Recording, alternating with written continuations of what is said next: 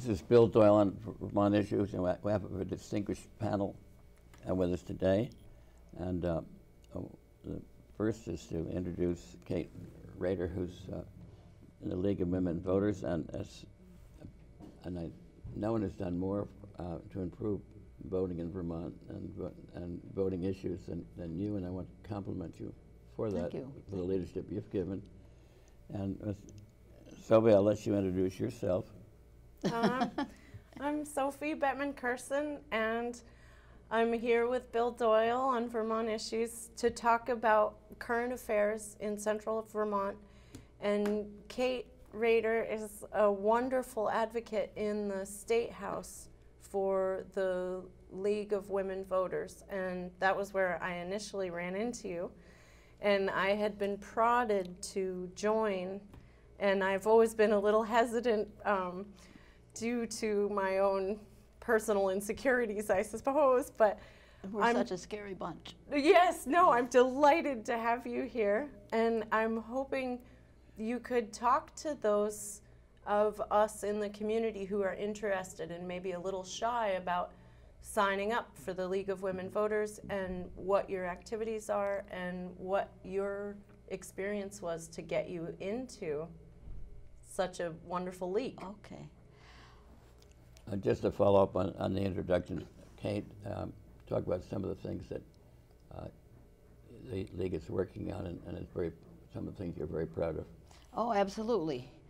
Uh, but to get people over the fear of the League of Women Voters, I don't remember the, exactly why I joined where I did or when I did. I do know I lived in Ann Arbor. I was not a member then, but I was very much aware of the League and what they did with their voter guides and that sort of thing. Uh, I joined when we moved to Massachusetts in 1979. So I've been a member since 1979. What I found in the league, in the first place, it gives me confidence that I wouldn't have otherwise. If I have to make a call and ask someone a favor or, or advocate for an issue, it, I'm much braver when I say this is Kate Rader with the League of Women Voters, mm. because that, that gives me a credential mm-hmm. that just Kate Rader doesn't have by herself. Uh, through the league's work and the friends I've, I've made lifelong friends in the mm. league, lifelong, lasting lifelong friends across town, and and now I have friends not just in my own league, but from going to meetings, out of state meetings. I have friends in the league all over the country. Oh, that's wonderful. Uh, and those two things, for me personally, are, are what I got most from the league. So um, the league was founded in 1920. Actually, it was founded a few months before the 19th Amendment was passed to educate the newly enfranchised women because they knew it was coming. They had worked, the suffragists, it was suffragists who had founded the league. Uh, they knew it was coming. They had worked for 72 years, uh, which is one of the reasons so frustrating when people say they're not interested in voting. But that's, that's a little aside. Uh, we, were, we register almost everywhere, and when people say they don't care, they're not interested, it just Well, only 40% of Americans vote. Is that the right statistic? Something like Bill? that. I mean, it's Or- a stunning few who make the decisions for the many. So I'm, I commend you for stepping up to the league because this is important work. It's really important. Uh, besides that, we do, um, well, it was, it was founded by activists, and so we are still activists in, in addition to our voter service activities, which I can get into. Um, we do study and have positions on issues at state, local, and federal level. Bill knows us from the State House, not us, not just me, but many others who have been there. We worked very, very hard on getting same-day voter registration. We have worked hard on campaign finance. Campaign finance reform seems to be stymied at the federal level, but uh, those are two important ones that we worked on for years. We worked for 10 years to get, to get same-day voter registration. And And so, can you give an example of um, maybe an experience that you had with the same day registration that was very excellent or? Well, we were there at the signing of the bill, and that was, no, I, I, remember I was, the town of East Montpelier has a, has a town meeting day potluck. Okay. And one day, this young couple came by, and they wanted to know if they could register to vote. This was town meeting day. Ah. This was a year before the bill passed. Oh. You know, and no, it's too late. It's you too late, yeah. They came ready to participate in town meeting and had to be turned away. And that is now no longer true. That's great. That's great. Now, you were talking about doing registration for people in the um, state jail system. Does that go federal as well or just local jails? Well, they vote in federal elections. They can vote, uh, yes. So, Maine, Maine and Vermont are the only two states that allow felons to vote actually while they are still in prison. There are other states who allow them to vote again after they have served their time. There are states who do not allow felons to vote ever again if they are convicted of a crime. that's pretty common, I think, right? I think it's pretty common. Yeah. I don't have the numbers. I want to say something like 36 states, but I don't. That's I can't can't back that up. And is there a league in the system? I mean, is there a league of women voters in the federal system or in the local state system that you know about? Or Not that I know about. No.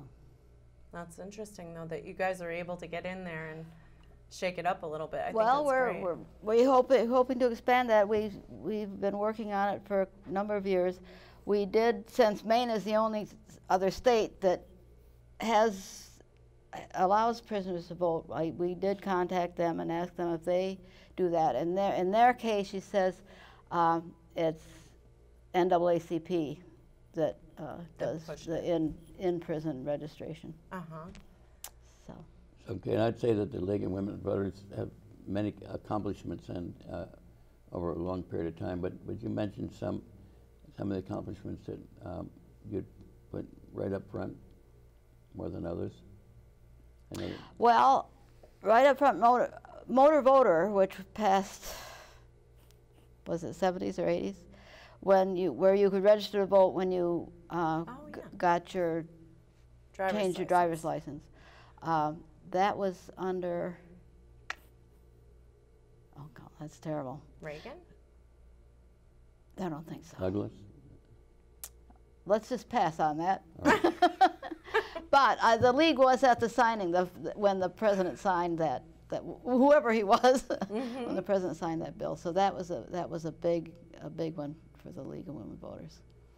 I was I was um, laughing about it because in my experience, it was very much like that. I got my driver's license when I was 18, and my father said, "Well, now you get registered to vote, and then you can go get a job, and then you'll be, you know, part of America."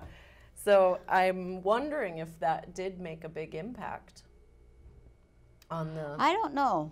voting. I don't know. And we would have to whether certainly there are statistics there what happened to voter registration after it passed, but uh, I don't I don't have them. I whether any you know like whether Jim Condos might have access to those statistics for, certainly for Vermont I would guess, but somebody would have to go, dig down into the archives I suspect. It was- It was long enough ago. that- Well, just on that point, uh, uh, what are some of the issues that uh, have been accomplished by the League of Women Voters, or that you remember, and, and other issues that have, the League has uh, been very active in, in past legislation? We have been active um, here in healthcare, and we have not been wildly successful, but not for lack of effort, and we're still working on that, working on the universal primary care. Uh, we work on uh, the environment. We're working very hard now on clean water. We would really, really like to see permanent funding for the cleanup of Lake Champlain funded this. Any day now would be good. Uh, voter rights, again, in Vermont, that's, uh, we are spared having to protect our, at, for now at least, protect our voters from uh, suppression, but in states around the country, North Carolina, Wisconsin, Maryland, oh, any, Georgia, uh, the National League and state leagues have worked very, very hard uh, in the field of voter rights. How, how have other states been involved in suppression of voter registration? Well, the league was part of uh, suit in that covered, I think, Pennsylvania, Wisconsin, and Maryland uh, gerrymandering suit. Uh, the league was one of the plaintiffs in that suit that uh, was lost because they said unless a particular, I believe I said, unless a particular voter had standing, that it didn't affect them. And so that, we were waiting and waiting, waiting for that Supreme Court decision in June, and then it, it was, it sort of deflated our, our balloon. So, Oh. You mentioned gerrymandering. Can you give some illustrations? Uh, the president passed of Vermont's approach to gerrymandering, Well- and, and also the na- the national any national laws. uh, Vermont, with only one, with only one representative, does not, there is no opportunity for gerrymandering because it's one district, the whole state is one district. Um, I think what's happened, I think Maryland and Wisconsin, I think what they do, how it works, is they can define districts so the population, they decide the districts by who a particular group, group is going to vote for. And so they can put all the Democrats in one urban district and cut, and the Republicans are cut out. And so there are fewer of one, I say Democrats, one in urban areas, it usually is the Democrats that are in the urban areas. But they can define a district so they know how, how the vote is going to turn out. Uh, and that happens often when the legislators, the state legislators, are the body that does the redistricting every 10 years. Uh, one of the things the League of Women Voters did in Oregon, probably at least 50 years ago, they worked on getting a nonpartisan redistricting commission passed, and it was passed. There's a, there was, I was there 30 years ago or so, and the State Museum has a, a room and it has um, commemorates the league's work on redistrict. And there's a big table in the middle of the room with all the counties in Oregon, and you can play the redistricting game, and you can define Oh, define the congressional districts for this for the state. oh, that's a to show. wonderful project. So, uh, yeah, right. Well, Vermont itself, every state does their own uh, redistricting for, yes. for state elections, and maybe you could just share with the, us the uh, some of the advan- advantages, or uh, uh, not only advantages, but some of the uh, progress that the league has made uh, and, and Vermont's made in terms of voter participation. Voter participation, of course, we have worked very hard traditionally on voter registration. Se- September is voter registration month nationally. Yesterday was National Voter Registration Day. Um, the league did a lot of voter registration this this month, not all of it on the 25th. We register new citizens to vote upon their naturalization, uh, and in the last two years, we have managed to have league members at every naturalization ceremony in the state. Uh, we, we were at the State House on September 11. There's one annually on 9 11. Um, and we registered about three quarters of the people who were naturalized, that, which was a record for us. we, we had enough people there that nobody had to say, by you. yeah, yeah, good, That's couldn't great. get by it. Right. Uh, Yesterday, we registered voters in partnership with Phoenix, Phoenix Books in each of their three uh, outlets. On Monday and tomorrow, we have and will be registering prisoners in uh, Newport and Springfield. We have registered college students, would really like to expand that. Uh, we have, Are you doing state colleges and oh, we don't care. UVM? Anyone? Any, yeah. College Yeah. campuses. Uh, in Northeast Kingdom, they, they worked with uh, the now Northern Vermont Yeah. State University. Uh, Southern Vermont College, uh, Norwich, uh, um, and we keep plugging along. We table, we register people at public events wherever we can.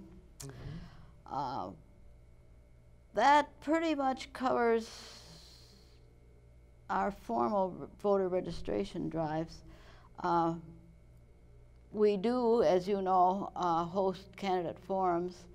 Uh, we have one scheduled for October 18th in Waterbury for the Washington State Senate candidates. And that'll be all female or it's every open to every candidate? Is it? It's open to the to the to the candidates. Yeah, yeah. Well, Uh-huh. it, it would be in this case it would be Ann Cummings all by herself, and we we don't do She's that. interesting. W- She's interesting, but these these are forums. These are debates. So it's a real debate. Essentially, yes, yes, And you guys And it- sponsor it? yes. And do you usually have a good turnout? I mean, we should drum this up. This sounds Well, really here we are, Great. drumming it up. Yes, it's going to be at seven o'clock on October 18th at the Waterbury Municipal Building, the Steel Hall in the Waterbury Municipal Building in Waterbury. Great. Uh, the other thing, we don't have, unfortunately, the resources to do statewide candidates at this time. But we, we will be doing through our outlets and our website is we will be promoting all the, any candidate debate or forum that people come to us at, and they would like us to publicize, we will do, we will do that. Talk about the period when the voters can no longer register to vote for this election. Oh, there is none. We have uh, uh, election day uh, registration. You can register at the polls. You can register online. You can register by mail. Uh, At the post office, you can still no, no, no, no. Oh, no. no, no. I mean, you can send it. mail it in. Register early. You can from 45 days before the election. You can go into your clerk's office and read and and vote. I shouldn't say red, vote. You can vote, but yes, you can register to vote on election day when you when you get to the polls. That's Other states have, other states may have deadlines. Other states may have deadlines. I think something like 14 states now have have uh, same day registration registration at the polls. I mean, as you know, Vermont's been leading by example. You would think that would catch on. You would think, but uh, uh, there were before. It, it was a long time. They only just got this through in Vermont. Vermont did not. This was one that Vermont did not lead by. When I was a election official in Minnesota in 1984, they had election day registration then. There then. And they still have it. They still have it. And but you're saying not many of the states actually have it. I mean, you would think it would become law. It's a You huge would think. tool. Yes, Ah, I would think. that you would think. Talk about, the, talk about voter turnout in Vermont and, and uh, what role the- League, of, League has taken over the years for voter turnout. I, I'm afraid I don't have statistics for voter turnout. It's reasonably good. It's not as good as Maine. It had same-day registration. Minnesota, which has had same-day registration since the 80s, has leads the state in voter turnout. Uh, I think Vermont is better than average, but we'll see what happens with this election because this is the first, this is the first one that since they have had same-day registration. Well, there are a lot of elections, um, issues coming up in this present, current election. And uh, um, so you think the, the issues, are there any issues that would tend to make the turnout a little bit stronger or less? less strong? I think the issues that may make turnout stronger is President Trump. Okay. Yeah, he's kind of inviting the league to step up a little, huh? Begging, I would say.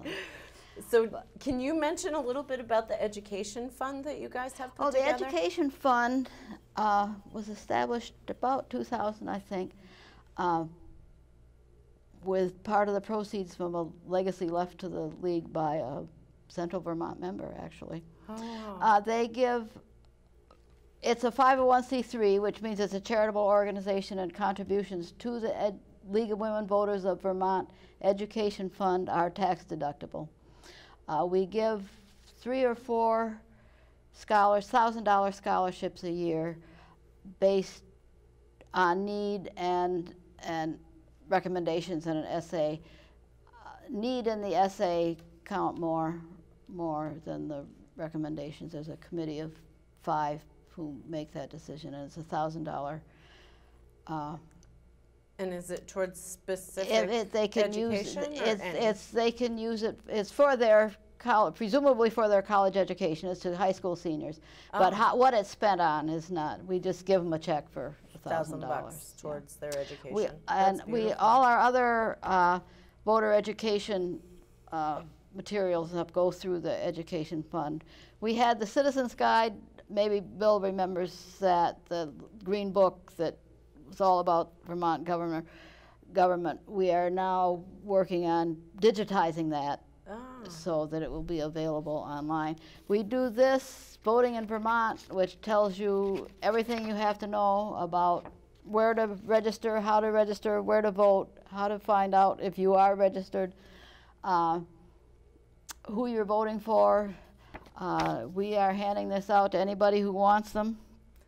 Uh, town clerk's office, libraries, at all of our voter registration events, we are giving these away. And before we leave, we could, each of us could pick up one of those.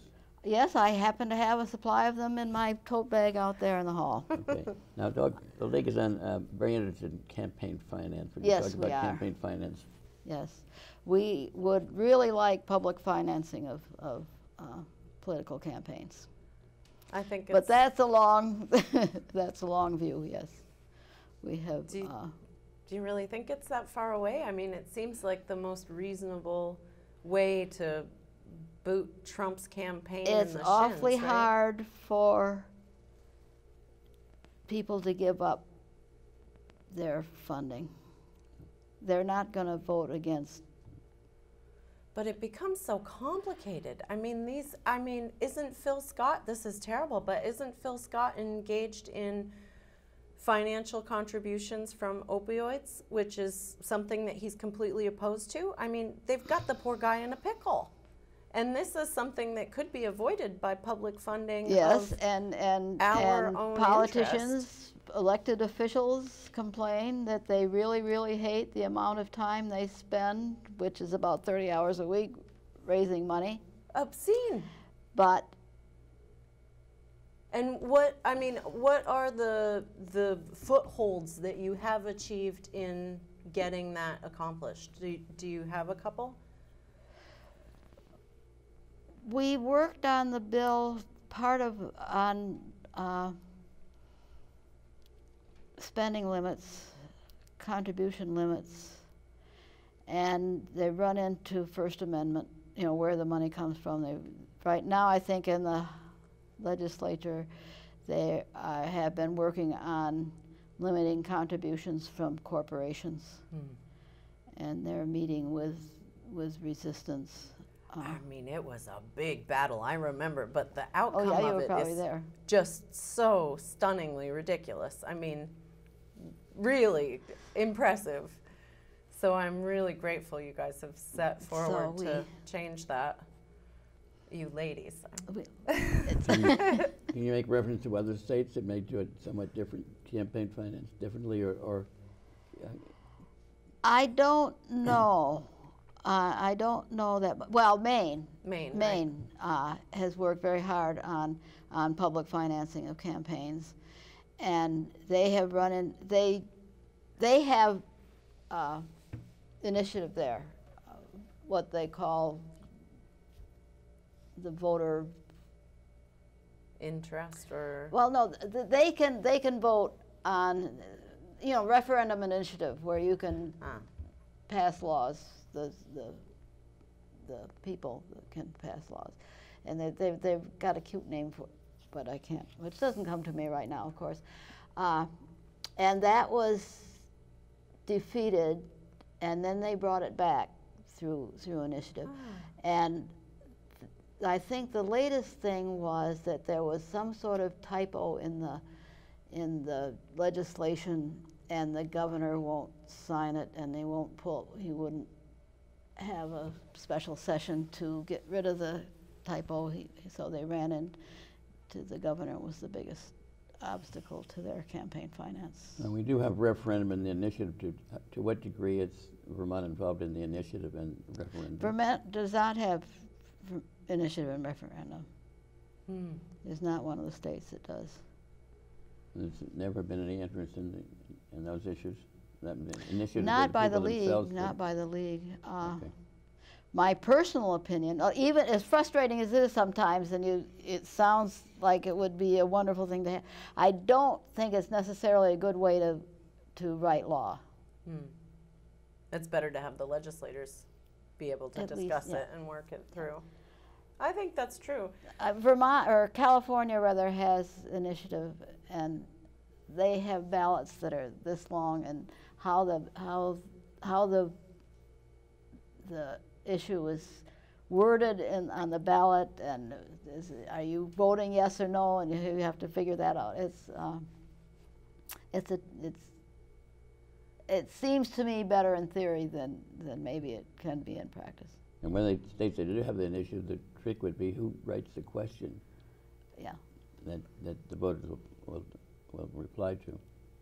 Well, thank God we have such access to our legislators here. Oh, yes, that's wonderful. It It's is.